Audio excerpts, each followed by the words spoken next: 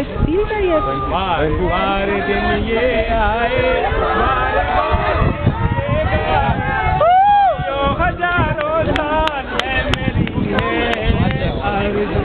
Happy birthday to you, happy birthday